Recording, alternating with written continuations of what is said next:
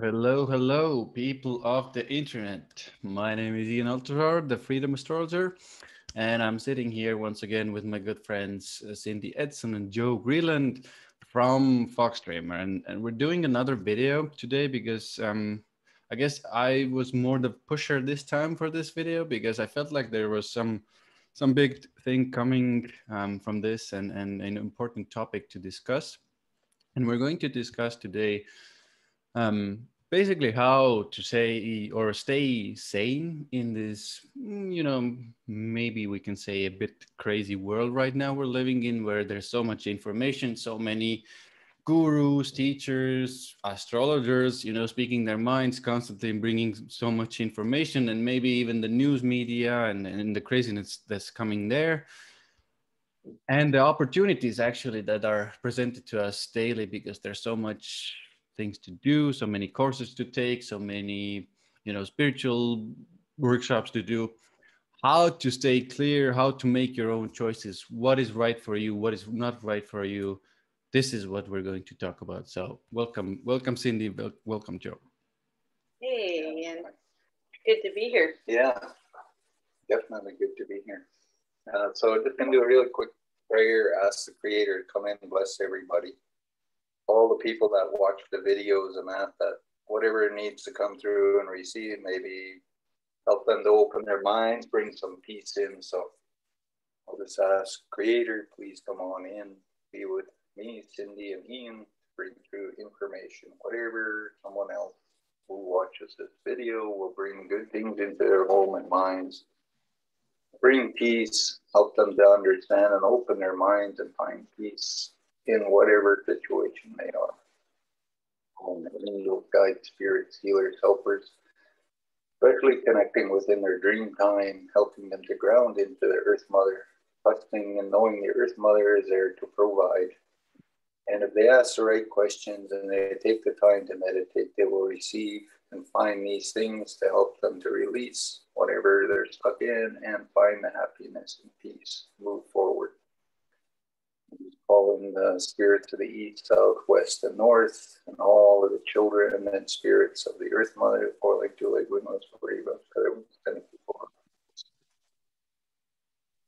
I just thank Creator today and for all the things that Creator blesses everybody and brings into their life.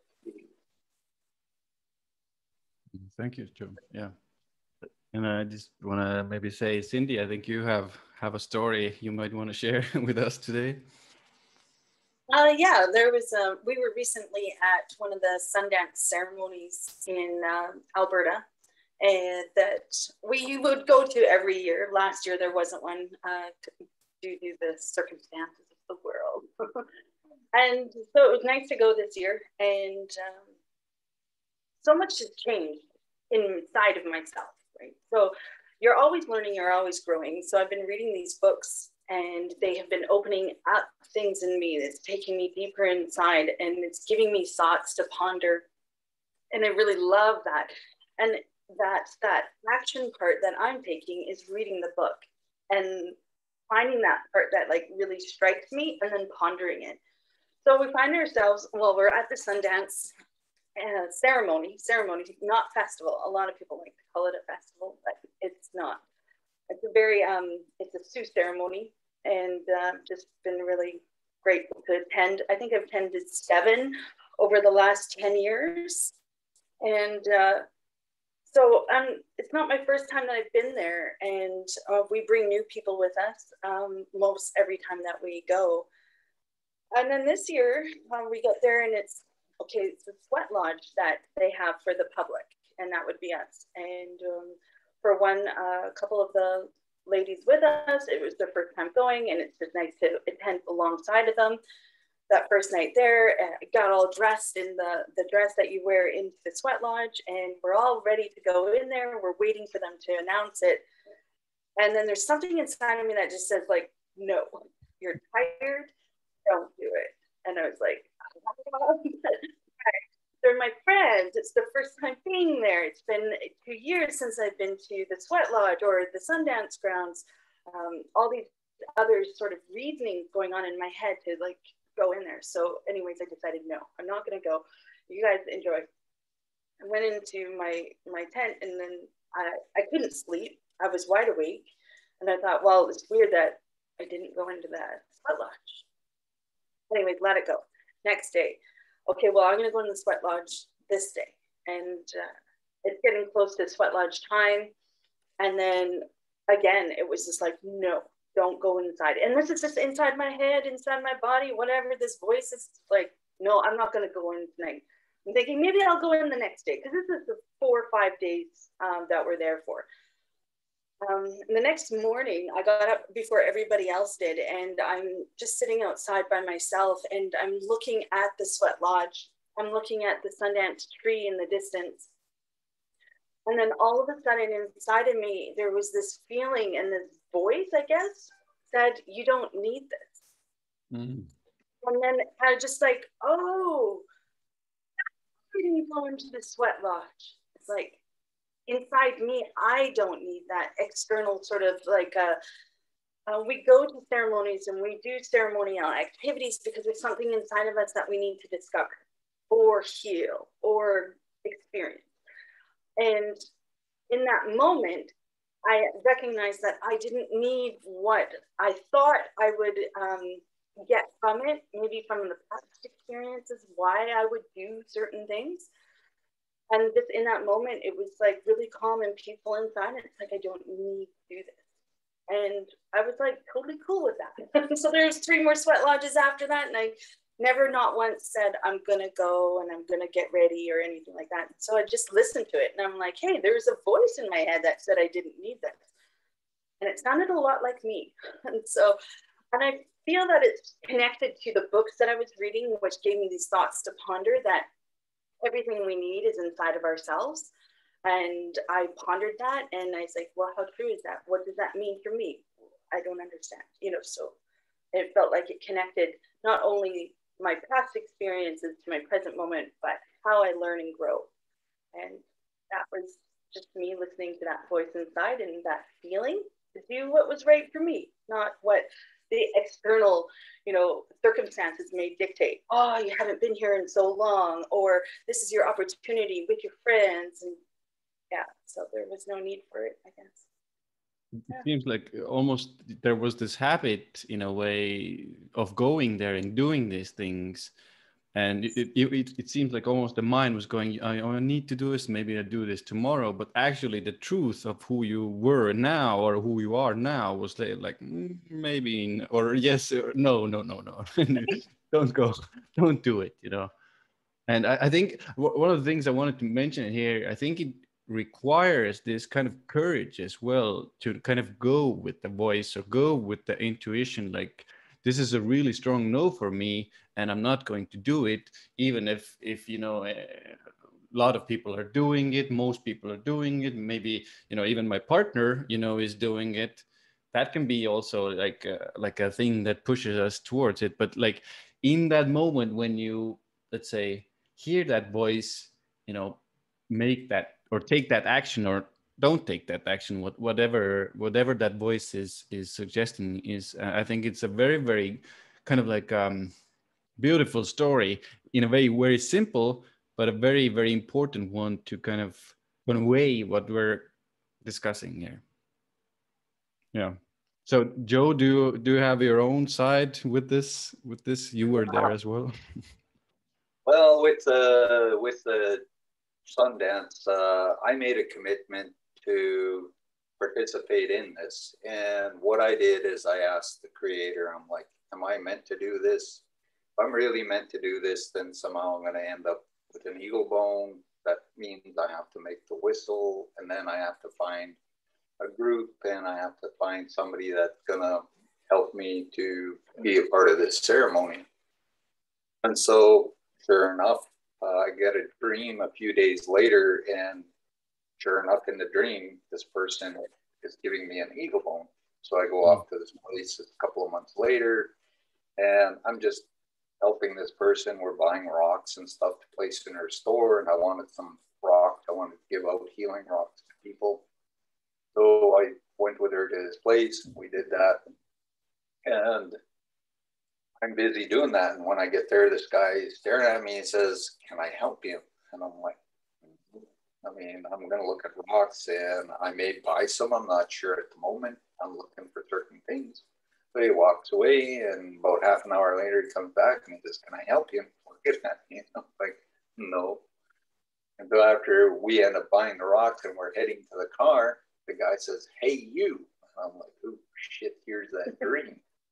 and he says, Come with me. And so I follow him around this building and we go to the back and there's this weird little shed he's got. And in the dream, there's this plastic box and he opens it and he says, which one is yours? And that's where I woke up in the, from the dream. So he opens this door and here's this little plastic box that I seen in, the, in this dream. And he opens it and he says, which one is yours? And inside was three bones. And the voice told me when I was waking up, take the middle one. When I looked, there was three, and I'm like, he says, which one is yours? And I said, the middle one. And I'm like, okay, damn, now here I got to dance, right? And in in in the ceremony, they say you have to commit to four years, or you have to commit to a certain amount of years, or you got to do 17 years to be a leader, and all these things.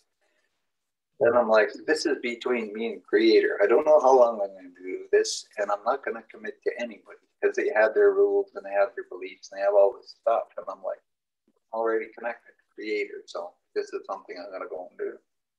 So I end up in doing it for two years. For two years, I'm like, I don't think I'm dancing anymore. This is something inside me, and I feel okay with this. And so I know I don't need to do all these things. All I got to do is meditate, pray, talk to creator and I get my answer. So I don't really need to spend 17 years and all this other stuff doing these things. And so I stepped out of that. And then certain people are peer pressuring me, like um, next couple of years, every time I go to the Sundance, are they like, are you going to dance? It's like, no, I, I'm done with this. And they're like, but you made this commitment. I'm like, I made a commitment to creator, not to you people, not to whatever you guys believe and think. This is something I did, and it was something inside me I needed to follow through because I did get the eagle bone and I had to honor it and follow through. So uh, this last Sundance when I was there, the there's no men were there; it was just women. And then when it was over, they were talking, and it was like, in the Sundance, you make a commitment and you follow through and all this other stuff. And they're talking about it. And I'm like, oh, you're still trying to guilt me. You're still trying to make me feel like I owe you something. Mm. Really owe you anything. You need people to commit and come here, or else you don't have this dance because you need people to come and they need to want to follow through and do all these things. And I'm like, I did what I told the creator I would do. So I'm not feeling really guilty or bad or anything. And every time I came here, I've done everything I can to help. Um, while I was there, they had me participate and do other things because when the ceremony starts, there's a sacred fire. And once they started, it can't go till the ceremony is finished. Everything has to be done.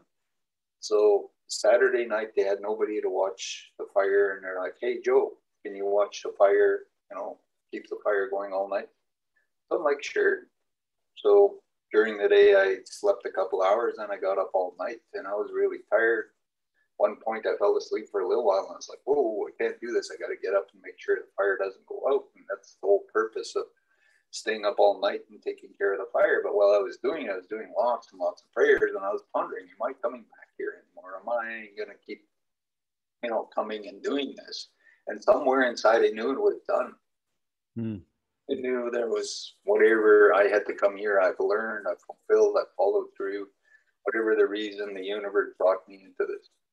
And I really did a lot of things, lots of different things. And so I felt really good about it. But that's a really big thing of trying to understand in life is peer pressure or how do I fit in or how do I make somebody like me so I feel like I belong? Because the biggest thing I was talking to Cindy this morning is how we get caught up in these kinds of things and we're searching for something. Some people have to buy things, like they're always going out and buying things. Like they buy all kinds of pretty stuff or stuff to put in their homes. And they're always, and, and there's this really strong pull. And the only way they feel good is if they go buy something. Once they bring it in their home, they, they don't feel good anymore. And it's like they're searching to find something. And the whole idea is finding yourself. I am beautiful. I am deserving. I am loving. And once you start realizing it's, it's you and you start living that and you're not intimidated or you're not drawn into, mm. you know, wanting to be a movie star and all kinds of things because that's external. And people peer pressure you or guilt you or do a whole bunch of different things to make you go, oh, I need to do this. Mm-hmm. Is it really real inside you? Mm. Because throughout my life, I've had many challenges because I grew up, grew up in a community of natives and I was an only blue eyed kid. And it made it very, very challenging and hard for me. And I didn't fit in with the Indians, I didn't fit in with the Eskimos, and I didn't fit in with the white people. So wherever I went, I was always fighting or getting in trouble. And because I was blue eyed, I stood out. So I thought, well, okay, because I'm blue eyed, maybe I could play with the white kids and the police kids, nurses and teachers and that. Tried to play with their kids, but I was a native, so I couldn't play with their kids. So I go and try to play with my Indian cousins because I wasn't Indian enough and I was blue eyed. I get pushed out. So I go and play with the Eskimos, and then they would push me out. So I didn't really belong anywhere. Mm. And everybody's saying, well, you have to do this. And so they're trying to tell me I need to speak a certain way or dress a certain way, then I would be acceptable. And I'm like, no, I can only be me. Mm. I dressed the way I was. I'd have my hair the way it was. And I wouldn't do anything to fit in. And, and people would always say, you know, really like, you know, who do you think you are, you know, or or they challenge me in different ways. And I'm like, just leave me alone. I'm not bothering you. I'm not interfering. I'm just being me. I don't need to fit in. If you're going to be my friend, then you're just going to accept me the way I am. So I went and sat with a lot of elders, a lot of older people, because they didn't care either. I'd either be their friend or I wouldn't be their friend. So I'd go and visit, have tea, sit and chat and talk. I wouldn't really hang out with the younger people because I always had to do something to make them believe that, you know, they liked me and I was willing to fit into their little way of believing their illusions that you know I was a part of them. Well, maybe I grease my hair and you know fit in and be a greaser wear a jean jacket or a leather jacket. And I'm like, I never did any of that. I just tried to find what made me happy, and I always seeked and listened to the voice inside. So even when I was at the Sundance and it was ending and they were talking, and I was like, okay, they're they're they're doing this thing again, and my commitment always has been to the universe. It's always there's something bigger. There's an energy that's so powerful. No matter what, it's going to pull you. It's going to keep motivating you to move forward. And you have to find that beauty inside yourself. You have to believe you're a genius. You have to believe you're, you know, something that's uh, bigger than what your human brain can perceive at this moment. And that's always going to lead you forward. All those little voices, all those different strange experiences. And you're going to find the right kinds of people that you fit in, and you don't have to, like I say, do a lot of things. They're just going to accept you. And that's the hardest thing to learn. But it's really, really loving yourself. You don't have to go out and buy something or do something because somebody's going to love you for who you are and they're going to show up and you're going to learn to love them for who they are. But inside we have all these weird things and we don't want to see ourselves as beautiful. So we got to buy something external to replace that, to try to fill us up that it can't fill that space. And it's something that's universal, it's really big inside us. And you recognize and honor that. And it's very, very powerful. It transforms things when you can stare in the mirror and really just accept yourself.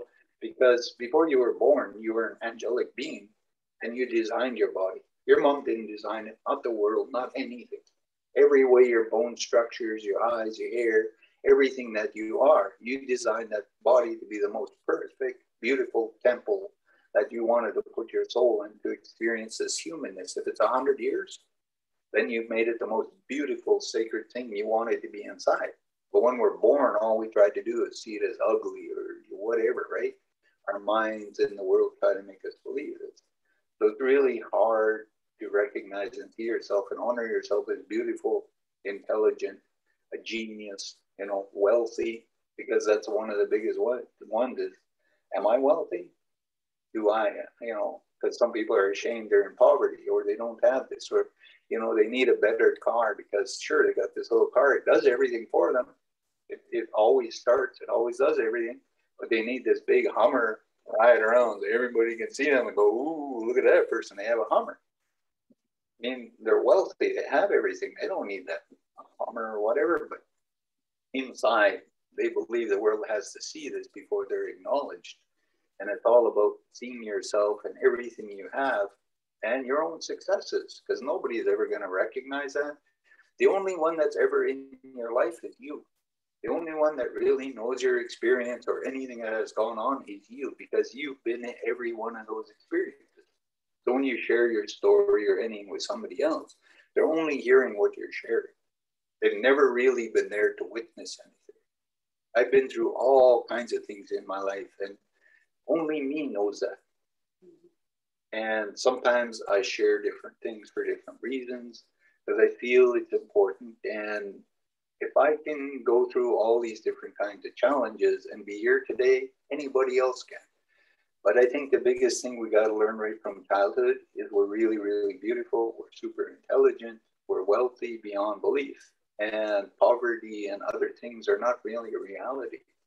So don't be intimidated or bullied or pushed or into anything. Just learn to love yourself, and eventually you're going to find everything that's rightfully yours. So I have a question right now, immediately to, to both of you. Um, after hearing these stories, and that, thank you, Joe, especially it's a great story. Um, now, like similarities what you both shared were to me like first and foremost you both seem to have a very very deep connection with yourselves and then in turn with with let's say the universe or or you know the guides and the the you know source whatever people want to call it you know? And it seems like this is one of those places for both of you to make those decisions to kind of stay true to yourself and you know really you know make those decisions that are you know right for you. Would you agree or do you have anything more to add um, to that? Like going to the sundance as a place to discover these things? Um, or like let's say let's say maybe some of the practices you use to connect to that space with you with you specifically? And you know may, maybe you know just how people can maybe recognize that voice and start recognizing that voice. Can i just yeah start, uh, oh, yeah yeah. okay uh, cindy came into my life about 11 years ago and she didn't really have a lot of understandings.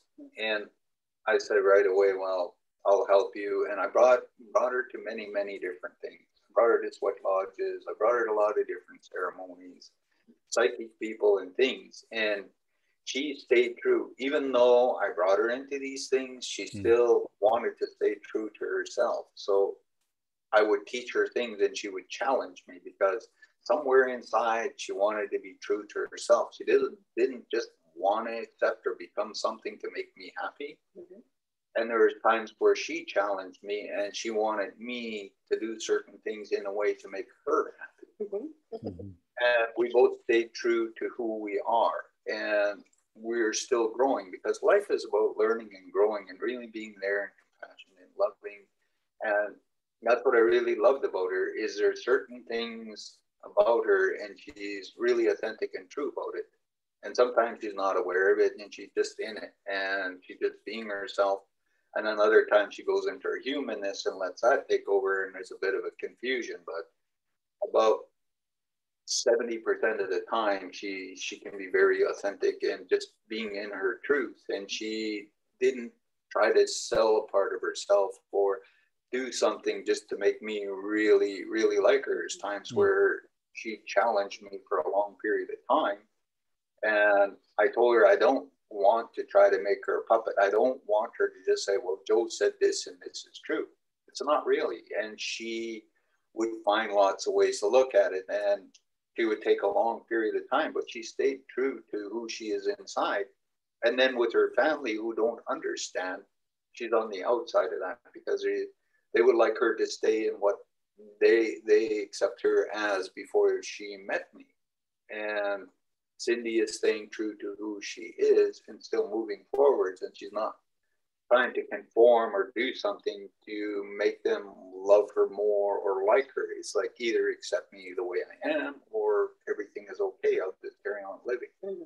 So I'll just leave that to Cindy and she can maybe take that. Um, and so that's my experience as a partner with someone who has a lot of awareness. uh, so I'm thankful that he didn't say you have to think this way.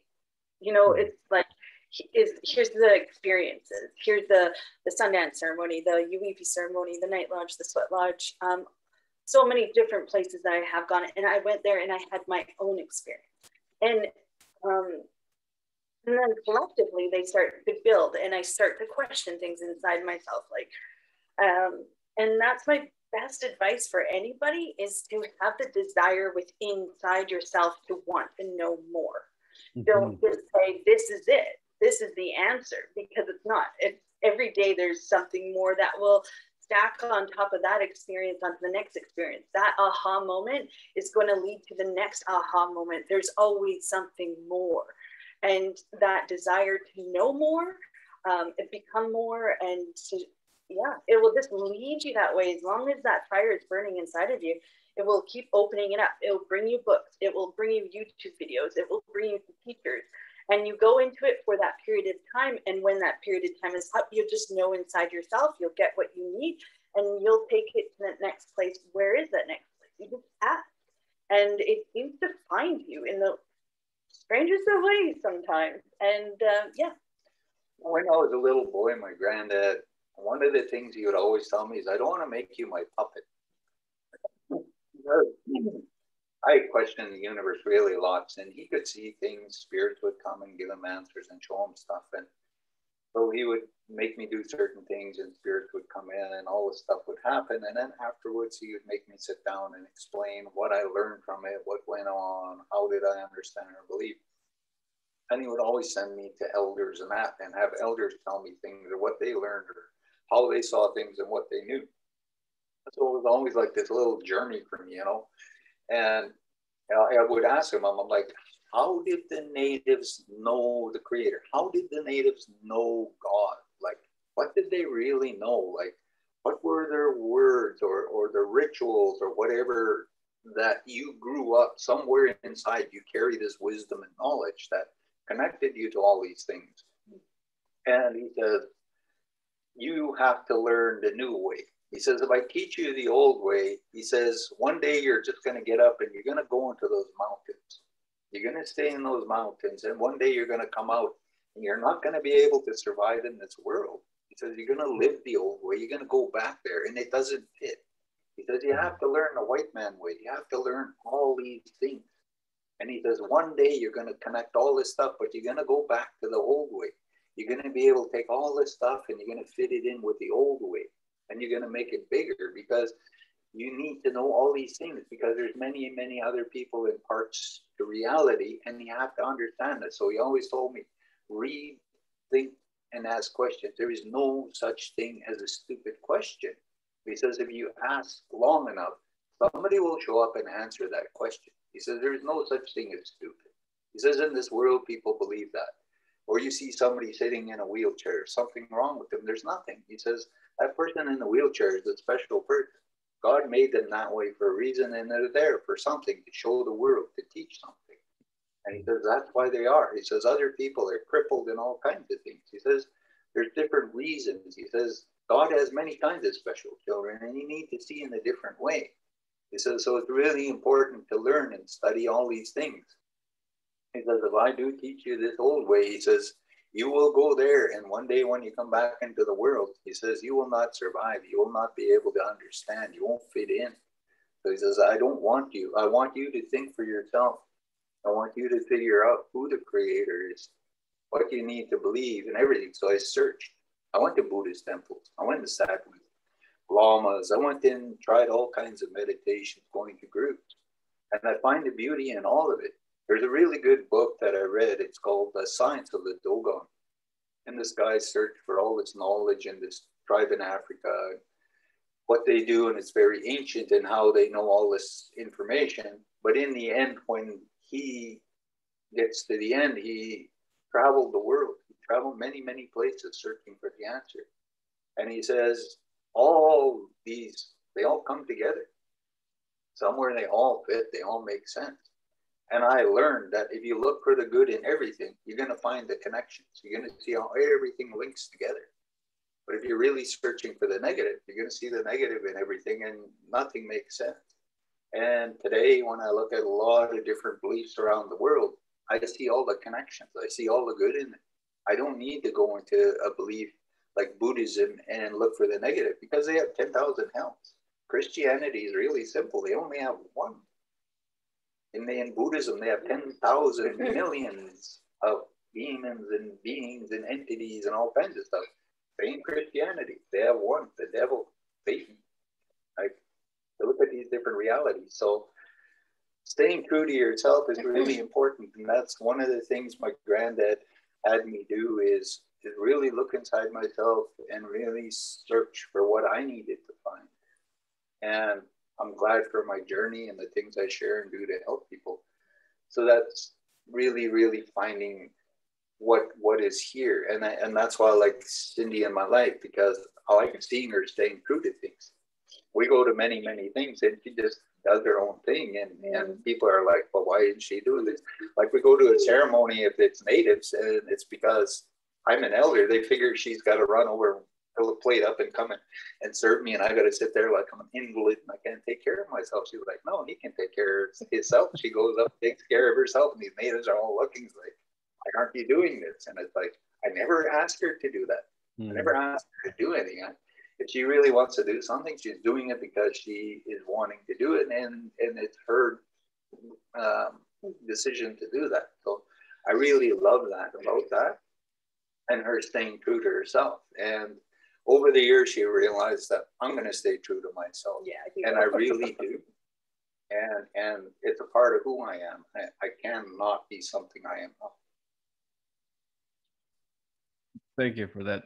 I, I want to share a small piece here because um, I think it's important, and you mentioned it a couple of times as well. Because you know, I've been I've been a, quite a curious, let's say, person in, in, throughout my entire life, but I think after meeting you two, I went into because you're always kind of in that place of like ask questions, like ask the creator, ask, you know, be for me, it's like being in a communion with you know whatever it is, the creator, whatever it is, universe. But it's it's it's more like a um, interactive relationship you know that i've gotten from you guys with life with with with the energies with everything that's around us and i think it's a really kind of big part guys uh, for those of you listening to be in this kind of interaction these questions like is this true? Why is it here? What does this mean? Do i want to do this? Like these questions open up for me at least. They open up energy. They open up the space. They bring you know the guys. They bring in the the, the guidance there that's outside kind of outside inside as well. They bring it to you or let's say they they kind of almost jerk it out of you you know in a, in a sometimes you know um, difficult way. But um, just asking these questions and, and the, the second part about this is like slowing it down you know slow it down and ask these questions. It's much easier to kind of start observing and start making these decisions and, and start seeing if, if these things are still true for you or is it something in the past you know? And this is maybe one of the the things that i've gotten from you guys and and, and i've kind of maybe maybe it's even you know helped me develop that deeper commitment connection to to god to to to the universe and to to myself as well. And i just want to kind of encourage everybody because it's in that case it's not you getting the answers from a guru from a teacher from a news media whatever it is. You are making that connection. You are making that um, action taking that action speaking those words to, to get those those um, or that clarity in in your life. Yeah, yeah. i feel important. Clarity is exactly it. And when you are asking the question you end up slowing it down and making the space for the question because you're going to analyze your question like oh, do i really want to know that and then you you can shift your question to being really what you want to know um, because if you're just firing question after question after question in your mind, thinking it's just going to come to you, you're not being very clear. So you can't get that clarity. So when you ask a very clear, precise question of the universe, when that answer comes in, it comes in clear. Because mm-hmm. you know you asked it. One of the things I found about the Bible, and it says over and over in different parts, is see through the eyes of an innocent child. And when you really look at yourself, and when you were a child, you were so curious. Like if your child's going to grow up and he's, he's going to ask many, many questions. And when you answer him, he's going to say, why? Why? And you're going to keep trying to answer and you're going to try to expand his awareness because his little brain doesn't have the words or the way to take something apart and express it. So the more words you use, he builds a capacity. And the universe is the same way. The universe sees us in as innocent little child. They don't see us adults or grown up, you know, really wise and old. They see us and they want us curious because there's something about curiosity. There's something about a desire. There's something you're trying to find, and only you can find it. And somewhere inside you carry that hidden little secret. And there's this innocent little curious child find so hard to perceive and find and accept something. And and I like using Buddha's an analogy. He says, there's a thousand ways to nirvana. Try at least 500. And if 500 doesn't work, try 501 because that might be the one that opens and gives you all the answers. But if you're not curious, you're not going to look for those 500. You're not going to lift that leaf or go sit under a tree or, you know, go sit in a Buddhist temple and curiously listen to them chant in some strange language. Like, what is this? You know, there's this energy or something. It's like this is freaky and scary, but man, I want to get into this stuff, right? And somewhere you got to allow that part of that because there's some little innocent child or something we bury and we hide in our side inside ourselves and we forget it. Sometimes we need to let it out and get really, really curious and look at something or oh yeah, like you know, when I was a child, I had to hide a lot of things because if my mom saw me reading something or doing something, she's like, "Oh yeah, there you are, you're doing evil or whatever." And my sister, when I was 16, she's like, "What do you really want for your birthday?" And I used to buy these comics, and I used to always go in the back and look at all these little things you could order from wherever, right? And there was one, and it said white magic. And I always this. I was like, "Ooh, I really love to get this. I'm so curious. You know, I want this. I want to know what white magic, what kind of power, what is in it. Like, so my sister told me this, and I says, okay, I'll show you, but don't tell mom because she think he's mad at me if she finds this out. So my sister ended up ordering this thing, and on my birthday, she gave it to me. I was, you know, sitting at my room. She said, "Hey, Joe," and I'm like, "Yeah." And she says, "I got something for you," and I'm like, "Oh yeah, whatever." You know, I thought maybe she was going to give me, you know, some little trinket or something. And she comes into my room and she has this book in front of her and it says white magic. And I'm like, this is like the biggest thing, right? And I know I'm going to get in a lot of trouble for this. So I'm like secretly reading this thing and I'm like, can I hide it, right? And all this different stuff. And then in it, it, it says you can do this and do that. And I'm like, it's not really white magic. Because the thing it says you can do this and you can trip a person. I thought, well, I'm going to try it. Maybe it's not bad karma. Maybe it's, I just wanted to see if it works. So I went in and I followed a person and I did exactly what it did. And this person tripped.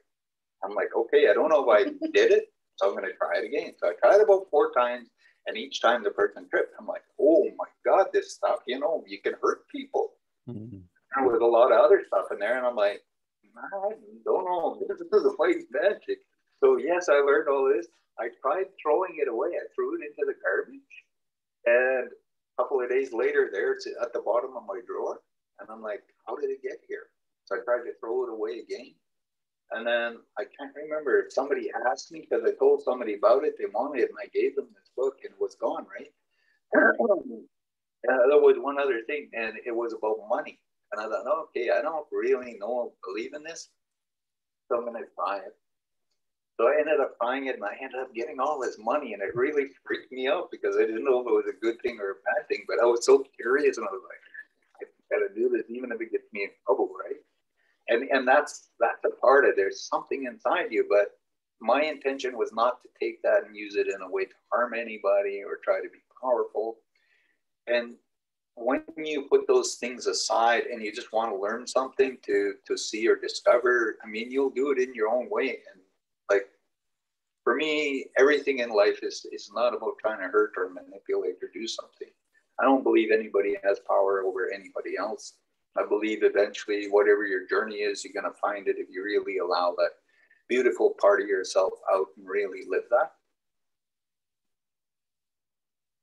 I think, I think that's a solid place to that's a good place to end and, and wrap it up. And and and guys just to kind of the summary just ask questions be curious you know slow it down.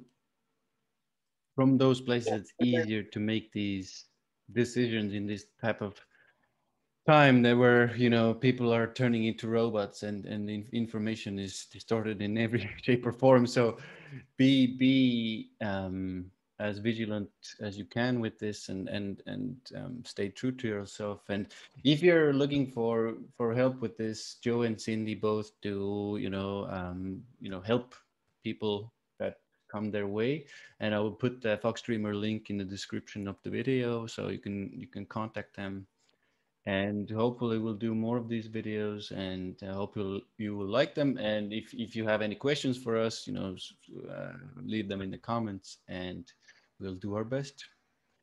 Thank you guys yeah. and see you next time. Thank you everyone. Thank you, Ian. God bless everybody.